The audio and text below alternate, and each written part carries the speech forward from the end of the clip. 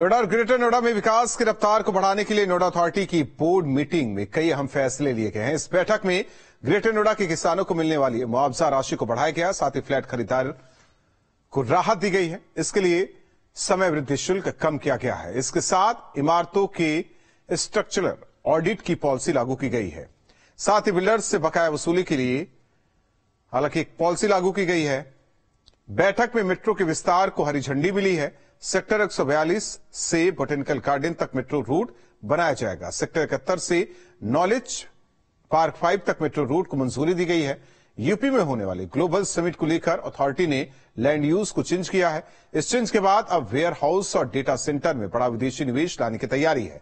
नोएडा और ग्रेटर नोएडा के लिए देश विदेश से अभी तक करीब नब्बे हज़ार करोड़ का निवेश मिला है। बैठक में जेवर एयरपोर्ट निर्माण के लिए नोएडा और ग्रेटर नोएडा प्राधिकरण 1800 करोड़ देगा नोएडा और ग्रेटर नोएडा में विकास की रफ्तार को तेज करने के लिए इस बार बोर्ड बैठक में कई अहम फैसले लिए गए। बोर्ड बैठक में विभिन्न स्टेक होल्डर्स के हित के लिए कई महत्वपूर्ण फैसले लिए गए हैं। नोएडा क्षेत्र के किसानों का जो लैंड का जब हम लोग खरीदते हैं, उसका जो दर था पिछले आठ वर्षों से नहीं बढ़ा था। तो पिछले दर को बढ़ाकर अब लगभग तिरपन वर्ग मीटर कर दिया गया है, जो एक किसानों के हित में लिया गया एक कदम है। ग्रेटर नोएडा परिक्षेत्र में जिन किसानों को भूमि के बदले में लैंड प्लॉट्स दिए जाते थे, उसमें बहुत ज़्यादा कंस्ट्रक्शन पेनाल्टीज थी और उसको 12 परसेंट तक वो पेनल्टी जाती थी।